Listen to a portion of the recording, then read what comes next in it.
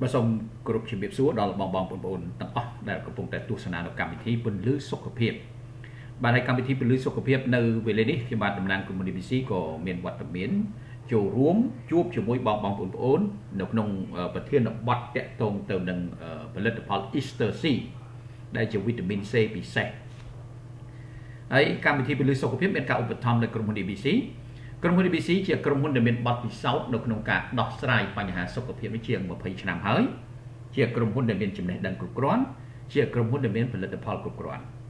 បាទ3ចំណុចនេះសំខាន់ណាស់បទពិសោធន៍ចំណេះដឹងផលិតផលបាទគឺរួមគ្នាទាំង3ហ្នឹងណាมันងាយមានទេបាទពិបាករណាទាំង3ចំណុចហ្នឹងគឺมันងាយមានទេបទពិសោធន៍ផងចំណេះដឹងផងផលិតផលផងបាទ ហើយត្រូវតែមាន3នឹងរួមគ្នាទៅដោះស្រាយបញ្ហាសុខភាពបានជោគជ័យក្រុមហ៊ុន ABC យើងមានទាំង3ប្រសិនបើបងបងប្អូនមានចំណាប់ចាប់អារម្មណ៍បាទមកកាន់ក្រុមហ៊ុនអាចតាក់ទងមកផ្ទះលេខ266ផ្លូវលេខ150ខាងក្រោយមន្ទីរពេទ្យប្រកុសសមៈចម្ងាយ250ម៉ែត្រ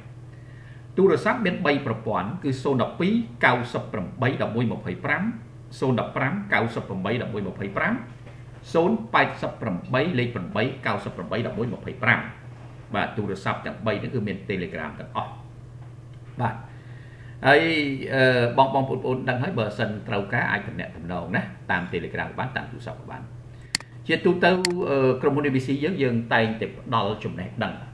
ហើយចំណេះដឹងហ្នឹងគឺធ្វើឡើងតាមរយៈប្រព័ន្ធ YouTube ដូច្នេះបងបងប្អូនអាចអញ្ជើញចូលមើល YouTube ទៅ ដោយវាយពាក្យថា EBC ពន្លឺសុខភាព EBC ដកឃ្លានតិចទៅណាហើយអក្សរខ្មែរវិញពន្លឺសុខភាពបាទ EBC ពន្លឺសុខភាពអាចតំណាក់តំណងបានបាទហើយអឺ Facebook យើងមានយើងមាន3ហើយមាន2គឺឈ្មោះប៉ាងលីហើមួយហើយនិងប៉ាងយឿនមួយចំណែក page មាន3 page មាន EBC ពលឺសុខភាពដូច YouTube ដែរបាទ YouTube ឈ្មោះ EBC ពលឺសុខភាព page ហ្នឹងក៏ឈ្មោះចឹងដែរនិង page 1 page ទី2គឺឈ្មោះប៉ាងលីហៅហើយ page ទី3គឺប៉ាងលីហៅ EBC ណាអញ្ចឹងយើងមាន3 page ហើយយើងមាន Facebook 2ហើយនឹងណែទូរស័ព្ទ3ប្រព័ន្ធហើយ YouTube មួយណាបាទអញ្ចឹងអាចតំណាក់តំណងមកបើសិនត្រូវការណាអឺមុននឹងចូលទៅដល់បន្តប្រធានបទរបស់យើងអឺខ្ញុំបាទក៏សូមបង្ហាញជូននៅគំនិតគួរពិចារណា ថាការមិនថែទាំសុខភាព គឺមានន័យថាអ្នកកំពុងតែសន្សំជំងឺដាក់ខ្លួន បាទមិនថែទាំមានន័យថាយើងកំពុងសន្សំជំងឺហើយពីព្រោះអាជំងឺហ្នឹងកើតជាធម្មតាបាទកើតគ្រប់តែគ្នានឹងឯងអត់មានអ្នកណាគេផុតបានទេមុននឹងក្រោយហើយបើយើងអត់ថែវាមានតែយើងកំពុងបើកចំហឲ្យជំងឺកើតឡើងនឹងឯងណាអញ្ចឹងកំពុងឲ្យចំហកំពុងតែអនុញ្ញាតឲ្យជំងឺនឹងឯង ឲ្យកើតអានឹងគឺមានន័យថាយើងកំពុងសន្សំហើយបាទហើយទោះបីយើងមិនចង់បានក៏ដោយវាត្រូវតែឲ្យនៅវាត្រូវតែឲ្យដោយស្វ័យប្រវត្តិណាពីព្រោះហេតុអីបានអញ្ចឹងពីព្រោះជំងឺនោះកើតជាធម្មជាតិណាអ្នកណាក៏ឈឺដែរកើតមកមានរូបមានកាយមានទុកណាទុកផ្លូវចិត្តទុកផ្លូវកាយណាអញ្ចឹងហើយបានថាបើមិនថែទាំទេកំពុងតែសន្សំជំងឺដាក់ខ្លួនបើមិនចង់ជំងឺសន្សំជំងឺដាក់ខ្លួនត្រូវតែថែទាំណា បាទអញ្ចឹងនឹងជាទ្រឹស្ដីមួយដើម្បីជាការពិចារណាណាអឺប្រធានបទគឺបងបងប្អូនជ្រាបហើយហើយនេះជាភាគចុងក្រោយភាគទី4ហើយយើងមានភាគទី1ទី2ទី3រួចហើយគឺតកតងទៅនឹងផលិតផល Easter C ដែលជាប្រភេទវីតាមីន C ពិសេសនៅវីតាមីន C ដែលមានរូបមន្តអឺចងក្រងដោយអ្នកវិទ្យាសាស្ត្រហើយរូបមន្តនេះមានបតង់អត់មានអ្នកណាចម្លងបានទេ កម្លាំងស្រូបចូលនិងប្រសិទ្ធភាព4ដងខ្លាំងជាងវីតាមីន C ធម្មតាបាទអញ្ចឹងខ្ញុំបាទសូមបន្តតែម្ដងណាកុំឲ្យខាតពេលពីព្រោះបានបញ្យល់ហើយយើងចូលទៅដល់ចំណុចពិសេសបាទចូលទៅដល់ចំណុចពិសេសអឺផលិតផល Easter C ហ្នឹង បាទអឺកម្លាំងរបស់ Easter C បាទចូលដល់កម្លាំងមិញចប់ហើយណាកម្លាំងវាកម្លាំងវា250អឺហ្នឹងបើវាមានគ្រាប់250វាមាន500គ្រាប់អាស្រ័យទៅលើអឺការចង់បានប៉ុន្តែក្រុមហ៊ុន ABC ចែកចាយ500ណាកម្លាំងវា500មីលីក្រាមតែគ្រាន់តែថាបញ្យល់ជូនថាកម្លាំងរបស់វាមួយគ្រាប់250មីលីក្រាមហ្នឹងស្មើគេ4គ្រាប់50មីលីក្រាមបាទ បាទ250មីលីក្រាមណា4គ្រាប់ហ្នឹងខ្លាំងចឹងកម្លាំង ecstasy អឺឥឡូវខ្ញុំចូលចំណុចទី3ភាពលេចធ្លោរបស់ ecstasy plus ឥឡូវមើល ecstasy plus ហ្នឹងវាលេចធ្លោរបៀបម៉េច ecstasy មានភាពលេចធ្លោជាងវីតាមីន C ផ្សេងផ្សេងទៀត ecstasy មានសក្តានុពលនុពលជាង ហើយនឹងប្រសិទ្ធភាពជាងបាទមានន័យថា វាវាល្អជាងនិយាយដល់ខ្លីថាល្អជាងប្រសិទ្ធភាពជាងណាបើប្រៀបធៀបជាមួយវីតាមីន C ដូចគ្នាហ្នឹងការផ្ទុះឡើងដ៏អស្ចារ្យនៃព័ត៌មានអំពីផលិតអំពីផលប្រយោជន៍សុខភាពរបស់វីតាមីន C បានបង្ហាញថាវីតាមីន C គឺជាសារជាតិបំពន់ដែលមានតួនាទីការពារដ៏សំខាន់បំផុតណាដែលមានដែលដែលគេមិនធ្លាប់បានរកឃើញកាលពីមុនបាទចង់និយាយថាពីមុនពីមុនមកណាអឺ វីតាមីន C ហ្នឹងគឺថាគេរកមិនទាន់ឃើញអស់ទេប៉ុន្តែឥឡូវនេះគឺថារកឃើញកាន់តែច្រើនហើយភាពអស្ចារ្យវាកាន់តែខ្លាំងបាទវាត្រូវបានបង្ហាញថាមានប្រសិទ្ធភាពក្នុងការការពារជំងឺវ័យចាស់ជរាគ្រប់ប្រភេទឃើញទេអឺមានមានតែយើងចាស់វ័យចាស់ហ្នឹងគឺប្រើអត់ខុសទេវ័យចាស់ជរាហ្នឹងបាទប្រើអា Easter C ហ្នឹងវីតាមីន C ហ្នឹង Easter C ហ្នឹងការពារកុំឲ្យកើតជំងឺ បាទនឹងចង់បញ្ជាក់ជូនអញ្ចឹង Easter C ជាវីតាមីន C ដែលមានសក្តានុពលជាងហើយដូច្នេះហើយវាដើរតួសំខាន់បំផុតនៅក្នុងការរក្សាសុខភាពឲ្យល្អទាំងស្រុងបានបាទវាវាខ្លាំងជាងល្អជាងហើយវីតាមីន C យើងដឹងហើយថាប្រយោជន៍ខ្លាំងណាស់វីតាមីន C ណាក៏ដោយវាប្រយោជន៍ចឹងគឺដូចដូចគ្នាអញ្ចឹងណាគ្រាន់តែថាអ្វីដែល ចាប់អារម្មណ៍បំផុតនោះគឺកម្លាំងរបស់វីតាមីន C នោះវាខ្លាំងជាង វាខ្លាំងជាងវាវាប្រយោជន៍ជាងចឹងអញ្ចឹងណាបាទអញ្ចឹងបងបងប្អូនប្រើប្រាស់ហ្នឹងគឺមិនខុសទេប្រើប្រើជាប់លាប់ត្រឹមត្រូវហ្នឹងគឺសុខភាពល្អណាការពាររួចស្រេចនៅជំងឺវ័យចាស់ជរាហ្នឹងទី4ណា Easter C+ មិនធ្វើទុកក្រពះដោយវីតាមីន C ធម្មតាទេបាទ បើជាទូទៅដូចបានលើកឡើងកន្លងមកអញ្ចឹងថាវីតាមីន C វាវាមានលក្ខណៈរបស់វាវាអាចនឹងធ្វើទុកណាចង់និយាយអញ្ចឹងណាបាទវីតាមីន C នឹងអញ្ចឹងប៉ុន្តែ Easter C នេះអត់ទេបាទគេរៀបចំរូបមន្តកាត់បន្ថយអាស៊ីតអីមកកំភ្លេចអស់ហើយណាអញ្ចឹងយើងអាចប្រើបានមកធម្មតាមកធម្មតាជាមួយមួយនៅក្នុងមួយនៅក្នុងផលប្រយោជន៍ភ្លាមភ្លាមរបស់ ecstasy គឺការរលាយនិងស្រូបចូលបន្តិចម្ដងបន្តិចម្ដងឃើញទេមួយនៅក្នុងចំណោមផលប្រយោជន៍ភ្លាមភ្លាមរបស់ផលិតផល ecstasy នេះគឺជាការរលាយនិងការស្រូបចូលបន្តិចម្ដងបន្តិចម្ដងដោយសារតែកម្រិតអាស៊ីតតុល្យភាពរបស់វាបាទមានន័យថាអាស៊ីតនេះគេធ្វើឲ្យវាតុល្យភាពជាមួយនឹងបរិស្ថានក្នុងពោះវៀននេះបាទមិនឲ្យព្រោះធម្មតាបើនិយាយពីលក្ខណៈពិសេសរបស់វីតាមីន C ហ្នឹងគឺ ឲ្យតែប៉ះជាមួយនឹងបរិស្ថានដែលមានជាតិទឹកវាត្រូវលាយហើយបាទហើយត្រូវលាយវាត្រូវវាត្រូវរាកចោលហើយបាទអត់នៅក្នុងខ្លួនបានយូរទេអាហ្នឹងតែខាតបងណាហើយដោយសារវាអាស៊ីតផងអញ្ចឹងវាអាចលាយលឿនអញ្ចឹងទៅហើយក៏អឺវាអាចនឹងធ្វើឲ្យលាកទៅដល់ភ្នេះភ្នេះរបស់ពោះវៀនណាអញ្ចឹងធ្វើឲ្យរឿងចប់អីទៅបើផ្សំជាមួយយើងជាអ្នកលាកស្រាប់ចុកស្រាប់ផងអានឹងដាក់ទៅធ្វើទុក អានឹងវីតាមីន C ធម្មតាចំណែក ecstasy អត់ចឹងទេណាគេបានរៀបចំរួចស្រេចអញ្ចឹងស្ដាប់បន្តទៅថាមួយនៅក្នុងចំណោមផលប្រយោជន៍ភ្លាមភ្លាមរបស់ ecstasy គឺការរលាយបន្តិចម្ដងការរលាយនិងការស្រូបចូលបន្តិចម្ដងបន្តិចម្ដងដោយសារតែកម្រិតអាស៊ីតតុល្យភាពរបស់វាអាស៊ីត ascorbic ឬវីតាមីន C ខ្លួនវាផ្ទាល់គឺជាអាស៊ីតហ្នឹងចង់និយាយថាអាអាវីតាមីន C ហ្នឹងវាជាអាស៊ីតហ្នឹងឯងវាជាអាស៊ីតហ្នឹងឯង ខ្លួនវាហ្នឹងគឺអាស៊ីតហ្នឹងឯងណានៅពេលដែលវាចូលទៅដល់បរិស្ថានអាល់កាឡាញនៃពោះវៀនតូចផ្នែកខាងក្រោមវាបង្កឲ្យមានការរលាកជាលិកាពោះវៀនបង្កើតពូស្មាន់ណាធ្វើឲ្យរាកឬក៏ភាពមិនស្រួលក្នុងពោះឃើញទេបាទអាហ្នឹងអាហ្នឹងលក្ខណៈធម្មជាតិរបស់វីតាមីន C គឺអញ្ចឹងណាវាបានវាជាអាស៊ីតអាវីតាមីន C ហ្នឹងគឺអាស៊ីតតែអាស៊ីតហ្នឹងកុំកុំយល់ច្រឡំអាស៊ីតហើយនឹងអាល់កាឡាញខុសគ្នាណា អាស៊ីតនេះអាស៊ីតផ្សេងណាអាស៊ីតអាស៊ីតផ្សេងអាមួយអាស៊ីត pH ខុសគ្នាហើយអាល់កាឡាញផ្សេងទៀតអញ្ចឹងបាទអាស៊ីតអាស៊ីតហ្នឹងពាក្យថាអាស៊ីតអាស៊ីតច្រើនណាស់ណាបាទដូចក្រូចឆ្មាអីវាមានអាស៊ីតរបស់វាគេណាបាទនឹងចង់និយាយចឹងវីតាមីន C វាមានអាស៊ីតរបស់វាណាពួកអឺម្នាស់អីវាមានអាស៊ីតរបស់វានឹងចង់និយាយចឹងណាបាទហើយដល់អា pH គេហៅថា acid acid ដែរហ្នឹងហៅ potential of hydrogen អាស៊ីតហ្នឹងផ្សេងគូជាមួយអាល់កាឡាញ ហើយដល់អាស៊ីតស្លាក់នោះផ្សេងទៀតអាស៊ីតកាពះផ្សេងទៀតអញ្ចឹងច្រើនរឿងនៅកុំឲ្យច្រឡំភាសាហ្នឹងជួនកាលយើងនិយាយអាស៊ីតមួយម៉ាត់ហ្នឹងគឺវាអាចច្រឡំបាទអញ្ចឹងអាស៊ីតនេះអាស៊ីតកាត់អាស៊ីតនេះគឺអាស៊ីតធម្មជាតិបាទ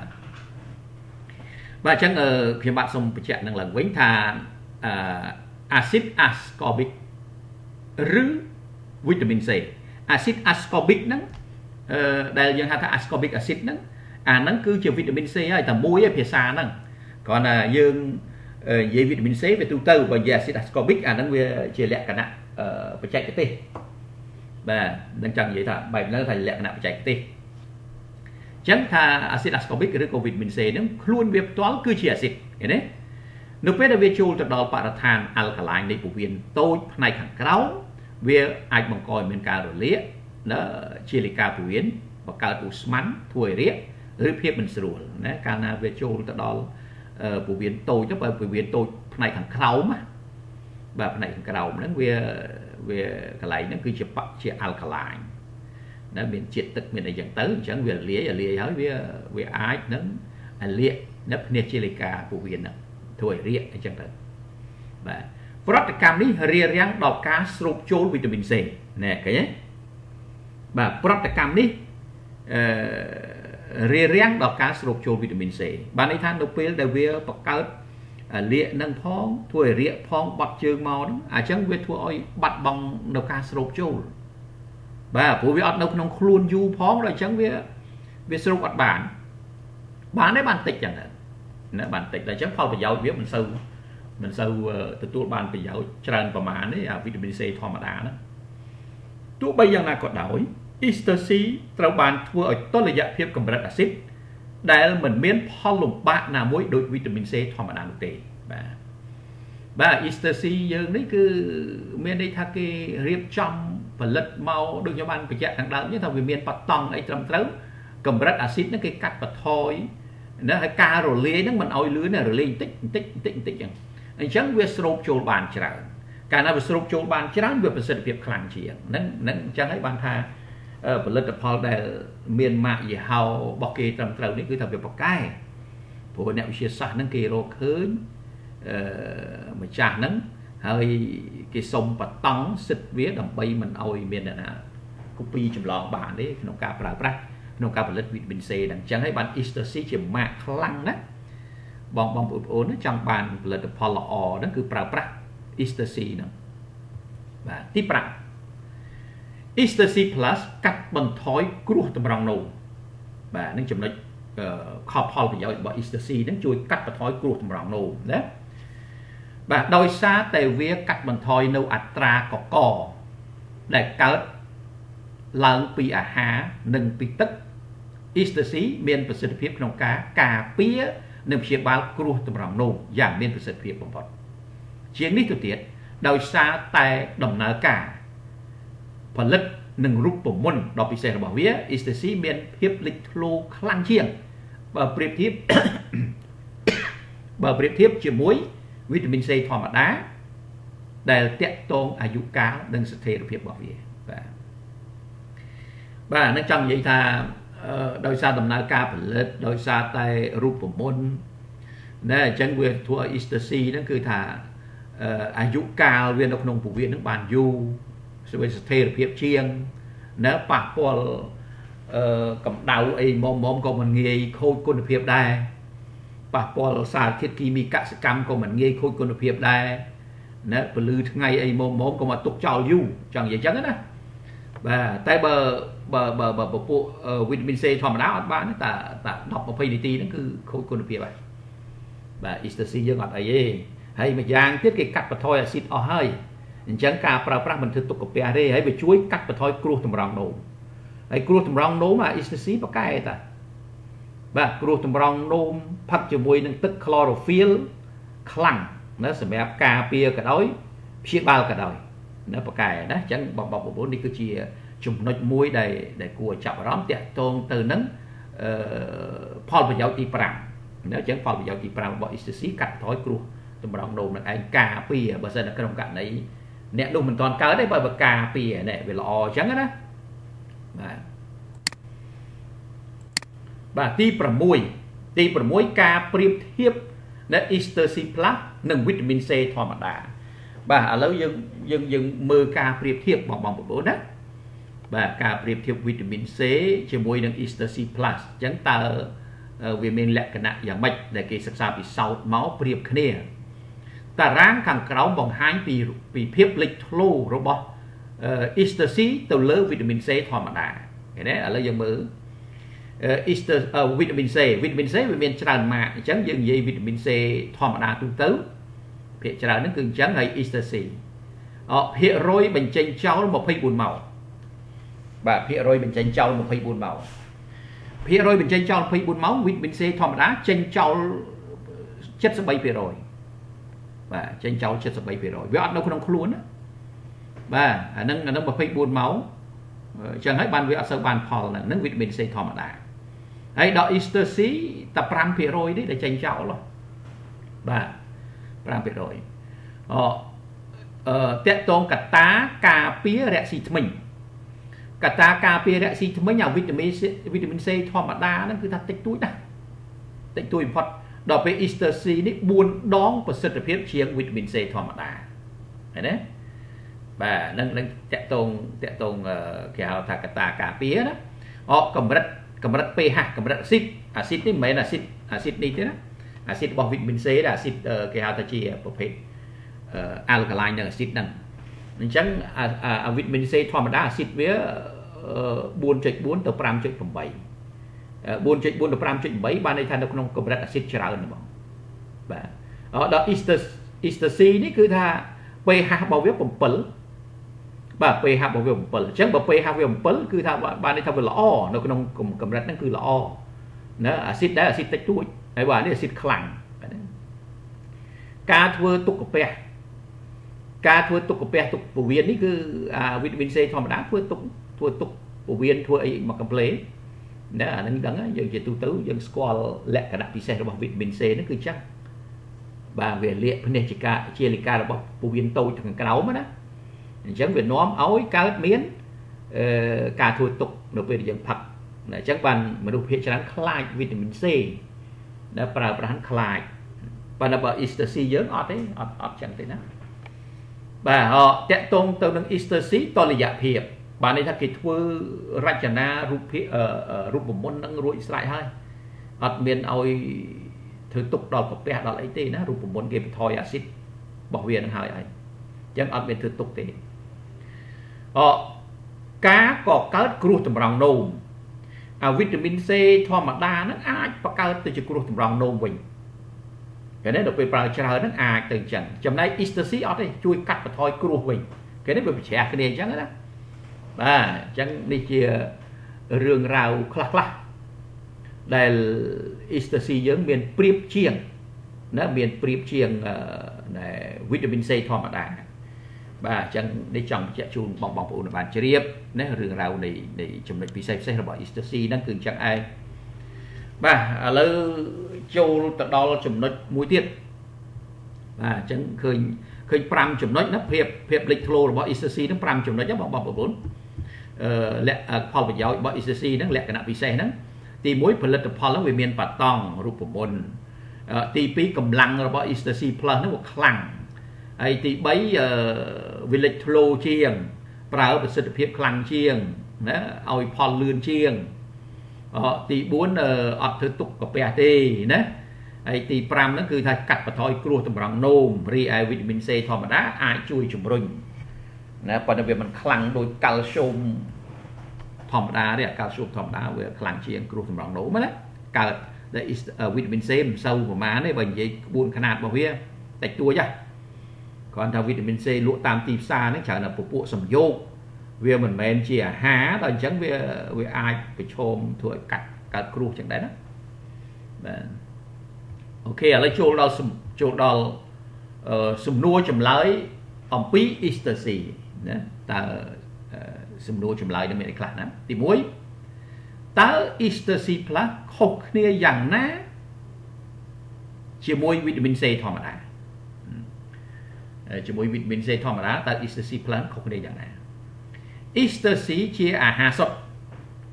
ហើយអាចស្រូបចូល4ដងខ្លាំងជាងវីតាមីន C ធម្មតាការរលាយបន្តិចម្ដងបន្តិចម្ដងនិងកម្រិតអាស៊ីតតុល្យភាពរបស់វា មានការសំយោគបានល្អជាមួយនឹងរ៉ែក្នុងរាងកាយរបស់យើងជាងនេះទៅទៀតវាកាត់បន្ថយគ្រោះថ្នាក់នៃការកើតគ្រោះតម្រង់នោម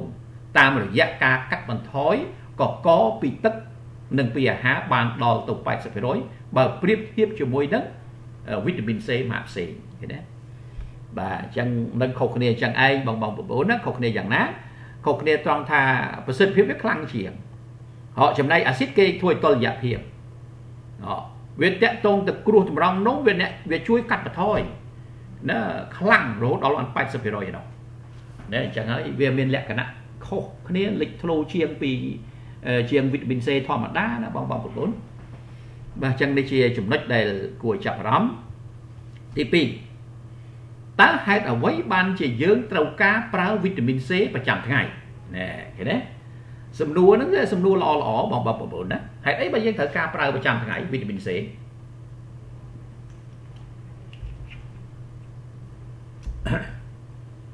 បងបងប្អូនអាចយល់ហើយវីតាមីន C ហ្នឹងវាប្រយោជន៍ប៉ុណ្ណាសម្រាប់រាងកាយរបស់យើងប្រយោជន៍ណាស់បាទតើហេតុអ្វីបានជាយើងត្រូវការប្រើវីតាមីន C ប្រចាំថ្ងៃវីតាមីន C มันអាចត្រូវបានផលិត ឬសំយោគក្នុងរាងកាយនោះទេ បានន័យថារាងកាយយើងអត់បង្កើតវីតាមីន C បានទេនេះចឹងនិយាយចឹងណាហើយដូច្នេះហើយយើងពឹងផ្អែកវីតាមីន C ពីអាហាររបស់យើងទាំងស្រុងទោះបីយ៉ាងណាក៏ដោយអាហារប្រចាំថ្ងៃរបស់យើងមានចំនួនវីតាមីន C មិនគ្រប់គ្រាន់នោះទេពីព្រោះវាងាយនឹងប្រតិកម្មបាត់បង់គុណភាពនៅប្រសិនបើត្រូវកម្ដៅដោយសារតែវាជាសារជាតិងាយរលាយជាមួយនឹងទឹកវាក៏មិនអាចនៅក្នុងខ្លួនបានយូរដែរហេតុដូច្នេះហើយយើងគួរតែទទួលទាន វីតាមីន C ឲ្យបានគ្រប់គ្រាន់ជាប្រចាំថ្ងៃដើម្បីបំពេញសេចក្តីត្រូវការរបស់រាងកាយឃើញទេបាទអាវីតាមីន C យ៉ាងឯងវាប្រយោជន៍សម្រាប់រាងកាយខ្លាំងប៉ុន្តែវាមិនងាយបានព្រោះអានឹងវាងាយខូចគុណភាពដូចបាននិយាយដដែលអញ្ចឹងណាត្រូវកម្ដៅក៏ខូចគុណភាពត្រូវខ្យល់ក៏ខូចគុណភាពត្រូវអឺសារធាតុគីមីផ្សេងផ្សេងសំបីតែគ្រឿងផ្សំចំណីហ្នឹងក៏អាចខូចគុណភាពដល់អញ្ចឹងយើងពិបាកទទួលបានណា ហើយរាងកាយយើងមានបានផលិតអាវីតាមីន C ដល់ខ្លួនឯងណាវាខុសពីសត្វសត្វវាផលិតបានខ្លួនវាហើយដល់ในរាងកាយមនុស្សអត់ទេអញ្ចឹងមនុស្សត្រូវតែពឹងផ្អែកវីតាមីន C ពីខាងក្រៅជាជាចាំបាច់ហ្មងដើម្បីឲ្យរាងកាយនឹងធ្វើការបានល្អណាហើយបើយើងអត់មានការបំពេញបំពន់ឲ្យគ្រប់ទេអានឹងរាងកាយវាបំពេញមុខងារមិនបានវាវាត្រូវការសារជាតិហ្នឹងដែលយើងវាមិនឲ្យវាមិនអាច គេហៅថាជួយបំពេញមុខងារទូនីតិវាបានណាដូចជាយើងមានកើតរលាករងថ្ងៃមនុស្សម្នាក់ម្នាក់សពថ្ងៃកើតរលាកជំងឺរលាកហ្នឹងគឺថាកិច្ចមិនផុតទេក៏ប៉ុន្តែវាមានកម្លាំងផ្សះទៅវិញហើយអាកម្លាំងផ្សះទៅវិញហ្នឹងគឺរាងកាយអ្នកធ្វើអញ្ចឹងរាងកាយដើម្បីឲ្យវាខ្លាំងគឺត្រូវការវីតាមីន C ហ្នឹងឯងណាហើយដែលយើងពឹងទៅលើអាហារវាអត់គ្រប់ហ្នឹងអញ្ចឹងត្រូវរកវីតាមីន C ពីខាងក្រៅណាវីតាមីន C ពីខាងក្រៅ Easter C ហ្នឹងឯង បាទម៉ាក Easter C ហ្នឹងម៉ាកល្បីហើយណាអញ្ចឹងបងប្អូនគួរប្រើប្រាស់ Easter C ហ្នឹងណាបាទអញ្ចឹងនេះជាចំណុចទី2សំណួរទី2សំណួរទី3តើផឹកវីតាមីន C ច្រើនធ្វើទុកដែរទេឃើញទេសំណួរសួរថាផឹកវីតាមីន C ច្រើនធ្វើទុកទេជាមូលដ្ឋានគ្រឹះការផឹកវីតាមីន C ច្រើន វាអាចធ្វើទុកដល់កាពះពោះវៀននិងធ្វើឲ្យរាកដោយសារតែអាស៊ីតរបស់វានឹងឯង ប៉ុន្តែការទទួលទានអ៊ីស្តាស៊ីចំនួនច្រើនយ៉ាងណាក៏ដោយណាក៏មិនធ្វើទុកដែរពីព្រោះអ៊ីស្តាស៊ីត្រូវបានធ្វើតុល្យភាពកម្រិតអាស៊ីតរបស់វារួចហើយឃើញទេបាទវីតាមីន C ធ្វើទុកវាផឹកច្រើនដោយសារវាអាស៊ីតណាដោយបានបញ្យលជូនហើយបងបងប្អូនបានជ្រាបហើយវាធ្វើទុកមានអីក្រៅពីឲ្យរាកក្រៅពីបង្កើតឧស្ម័នរាកណាហើយវាធ្វើឲ្យបាត់បង់ការស្រូបចូលដោយសារវាអត់នៅក្នុងខ្លួនបានយូរណា ចំណែក ecstasy អត់ចឹងទេវាអត់ធ្វើទុកទេអញ្ចឹងរលាយតិចម្ដងតិចម្ដងហើយនៅក្នុងខ្លួនបានយូរប្រើប្រាស់បានផលណាបាទអញ្ចឹងនឹងចម្លើយទៅនឹងសំណួរថាតើផឹកវីតាមីន C ច្រើនធ្វើទុកទេណាចម្លើយថាធ្វើទុកណាវីតាមីន C ធម្មតាធម្មតានឹងធ្វើទុកណាដោយដោយសារវាអាស៊ីតវាអត់និយាយទៅបច្ចេកវិទ្យាអឺក្នុងការកាត់បន្ថយអាស៊ីតឲ្យអស់ហ្នឹងគឺថាវាមិនងាយអ្នកធ្វើបាន ហើយផ្សំរូបមន្តដើម្បីស្រូបចូលបានល្អហ្នឹងវាមិនងាយបាទអញ្ចឹងហើយបានស្រុកគេអឺកាលណាគេសិក្សាស្រាវជ្រាវអ្នកវិទ្យាសាស្ត្រម្នាក់ម្នាក់ហ្នឹងគឺតែកាលណាសិក្សាស្រាវជ្រាវហើយបានប្រយោជន៍ពិតប្រាកដគេសុំសិទ្ធនៅក្នុងការរក្សាបតង់រូបមន្តហ្នឹងហើយអត់មានអ្នកណាទៅធ្វើបានទេណាបើចង់ផលិតហ្នឹងតយកពីគេតនិយាយទៅទៅទិញសិទ្ធ ណាអត់អាចទៅរំលោភសិទ្ធរបស់គេបានទេក្នុងស្រុកគេណាបាទអញ្ចឹងនេះចំណុចទី3ចំណុចទី4តើនរណាខ្លះគួរតែផឹកវីតាមីន C ឲ្យបានច្រើនអ្នកណាគួរផឹកវីតាមីន C ឲ្យបានច្រើនបាទជាទូទៅមនុស្សគ្រប់គ្នាត្រូវការវីតាមីន C ប៉ុន្តែវាមានសារៈសំខាន់ចាំបាច់សម្រាប់មនុស្សចាស់អ្នកទឹកនោមផ្អែមអ្នកជក់បារី អ្នកផឹកស្រាពីព្រោះវាជួយជួសជុលប្រព័ន្ធសំយោគ ដែលកំពុងតែធ្លាក់ចុះបាទបាទអ្នកអ្នកដែលត្រូវការបើនិយាយអ្នកត្រូវការវីតាមីន C ហ្នឹងគឺគ្រប់គ្នាណាអ្នកណាក៏ត្រូវការដែរចាស់ក៏ដោយក្មេងក៏ដោយត្រូវការទាំងអស់ប៉ុន្តែអ្នកដែលចាំបាច់ត្មងត្រូវខានមិនបានហ្នឹងគឺទី1មនុស្សចាស់ទី2អ្នកទឹកនោមផ្អែមព្រោះអ្នកទឹកនោមផ្អែមហ្នឹងប្រឈមនឹងការលាកខ្លាំងណាអញ្ចឹងតើបង្កើនការផ្សះក្នុងខ្លួនឲ្យខ្លាំងដើម្បីទប់ទល់ជាមួយនឹងការរលាកប្រចាំថ្ងៃណា អ្នកជក់បរិយក៏ចឹងអ្នកជក់បរិយក៏ខូចប្រព័ន្ធឈាម ដែលនាំឲ្យរឹងក្រិនសរសៃឈាមបាទអ្នកផឹកស្រាណាទាំងអស់ហ្នឹងគឺសុទ្ធត្រូវការចាំបាច់តែហ្មងបាទប្រើវីតាមីន C ហ្នឹងអញ្ចឹងហើយបានថាត្រូវបំពេញលក្ខខណ្ឌឲ្យបានគ្រប់ណាបាទចំពោះវីតាមីន C ហ្នឹងគឺបងបងប្អូនជាពិសេស Magister C នេះឯងបើសិនបងបងប្អូនចង់បានគេហៅថាប្រសិទ្ធភាពខ្លាំងទាន់ចិត្ត ខ្លាំងជាងវីតាមីន C 4ដងអាហ្នឹងគឺធម្មតា4ដងត្រូវប្រើ Easter C ហ្នឹងទៅមិនខុសទេណាបាទអញ្ចឹងចូលដល់ទីបញ្ចប់ហើយហើយបងបងប្អូនប្អូនទាំងអស់ដែលមានចំណាប់ចាប់អារម្មណ៍បាទក្នុងការប្រើប្រាស់វីតាមីន C បានយល់បានដឹងហើយហើយតាក់ទងមកក្រុមហ៊ុន EBC បើសិនត្រូវការពីព្រោះ ECC ជា ជាវីតាមីន C ពិសេសបាទម៉ាកម៉ាកលេខ1នៅលើពិភពលោកណាអញ្ចឹងអញ្ជើញតំណាក់តំណងបាទប្រើប្រាស់ណាបើសិនបងបងប្អូនត្រូវការអឺហើយបើសិនមានបំណងចង់ចេះចង់ដឹងពីរឿងសុខភាពណាអាចជិះចូលមក YouTube ចង់ប្រឹក្សាយោបល់រឿងរ៉ាវសុខភាពដោះស្រាយបញ្ហាដែលមិនទាន់ដោះស្រាយចេញនោះអាចតាក់ទងមកលេខទូរស័ព្ទរបស់ក្រុមហ៊ុនណា បាទអញ្ចឹងខ្ញុំបាទក៏សូមបញ្ចប់នៅភាគទី4នៃមុខងាររបស់ Easter C អឺបងបងប្អូនជឿជាក់ថាបានយល់ច្បាស់អំពីតួនាទីរបស់វីតាមីន C និងការខុសគ្នារវាង Easter C និងវីតាមីន C ធម្មតាបាទអញ្ចឹងអាចតំណាក់តំណងឲ្យកុំភ្លេចបានទស្សនាជួយ share តតគ្នាសូមអរគុណសូមជម្រាបលាសម្រាប់ប្រធានបទមួយនេះជួបគ្នានៅប្រធានបទក្រោយៗទៀតបាទ